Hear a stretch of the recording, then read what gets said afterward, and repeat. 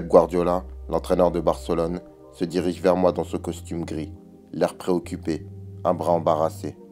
En ce temps-là, je pensais qu'il était réglo. Pas vraiment le style de Mourinho ou Capello, mais un type bien. C'était avant que nous commencions à avoir de sérieux désaccords tous les deux. Cet automne 2009, j'étais en train de vivre mon rêve de gosse. Je jouais avec la meilleure équipe du monde et 70 000 personnes étaient venues m'accueillir au Camp Nou. Écoute, me dit Guardiola, ici au Barça, on garde les pieds sur terre. Donc ne viens pas à l'entraînement en Ferrari ou en Porsche. J'approuvais d'un signe de tête, sans rien rétorquer. Surtout pas. Je me demandais ce qu'il voulait dire par là. C'était quoi son message? J'avais déjà eu l'impression que Barcelone ressemblait à une école ou à ce type d'institution. Les joueurs étaient sympas, rien à dire de ce côté-là. Et Maxwell, mon vieux pote de l'Ajax et de l'Inter, était avec moi. Mais pour être honnête, pas un des gars ne se comportait comme une vedette, ce qui était étrange. Messi, Xavi, Iniesta et toute la bande se tenaient comme de petits écoliers.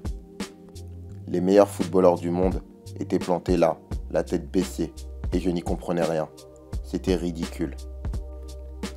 Ça ne m'allait pas du tout, mais alors vraiment pas. Mais je décidais de m'adapter et de rentrer dans le moule. Je devins presque trop gentil. C'était dingue. Je dois vous dire que depuis mes débuts à Malmö, je n'ai toujours eu qu'une seule et même philosophie, n'en faire qu'à ma tête. Je me tape de ce que les autres pensent, et je n'ai jamais aimé me retrouver au milieu de gens coincés. J'aime les mecs qui grillent les feux rouges, si vous voyez ce que je veux dire. Je disais ce que les autres gens voulaient que je dise.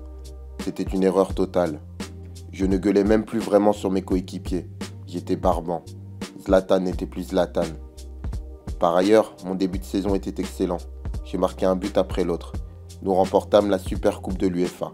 C'était formidable. Sur la pelouse, je maîtrisais, mais je ne me sentais pas moi-même. Mon arrivée avait donné lieu au deuxième plus gros transfert de l'histoire, et les journaux écrivaient que j'avais été un enfant à problème, que j'étais un personnage retors, des tas de bêtises en somme. Et malheureusement, toute cette pression me pesait. À savoir qu'ici, au Barça, on ne faisait pas le malin on ne créait pas d'histoire. Et je voulais prouver que je pouvais m'adapter.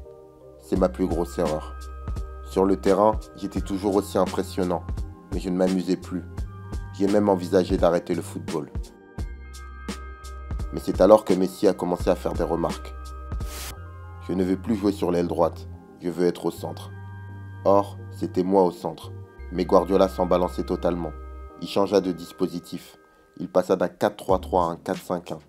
J'étais en pointe et Messi était placé juste derrière moi, ce qui faisait que je me retrouvais dans l'ombre. Toutes les balles passaient par Messi et je n'arrivais pas à m'exprimer. Sur un terrain, je dois être aussi libre que l'air. Je suis le genre de type à vouloir faire la différence à tous les niveaux. Mais Guardiola m'a sacrifié, c'est la vérité. Il m'a coincé à la pointe de l'attaque. Bien sûr, je peux comprendre son dilemme. Messi était la star. Guardiola était obligé de l'écouter. Mais allez, j'ai marqué des tas de buts avec le Barça. Et moi aussi j'avais été plutôt bon. Il ne pouvait quand même pas changer toute l'équipe en fonction d'un seul mec. Sinon pourquoi diable m'avait-il recruté? Personne ne lâcherait une telle somme pour étouffer un joueur comme moi.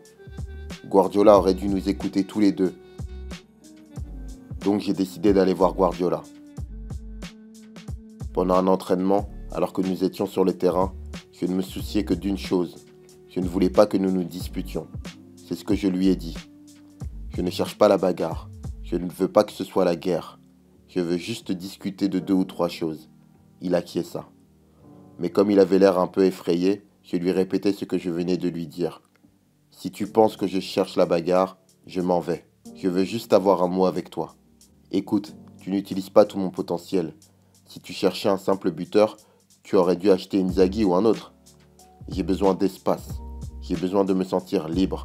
Je ne peux pas courir tout le temps de haut en bas sur le terrain. Je pèse 98 kilos. Je ne suis pas fait pour ça.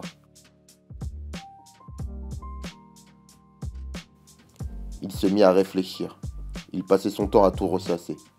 Je pense que tu peux jouer de cette façon. Non, autant me mettre sur le banc. Avec tout le respect que je te dois, je sais d'où je viens. Tu es en train de me sacrifier au profit d'autres joueurs. Ça ne marche pas. C'est comme si tu avais acheté une Ferrari et que tu la conduisais comme une Fiat. Il se mit à réfléchir davantage. Ok, c'était peut-être une erreur, c'est mon problème, je vais trouver une solution. J'étais heureux, je repartis d'un pas léger, mais c'est à partir de ce moment-là qu'il me fit la gueule. J'espère que cette petite lecture vous a plu. Elle est tirée du livre Moi Zlatan Ibrahimovic, mon histoire racontée à David Lagerkrantz aux éditions JC Lattès. Je vous dis à bientôt. Portez-vous bien. Ciao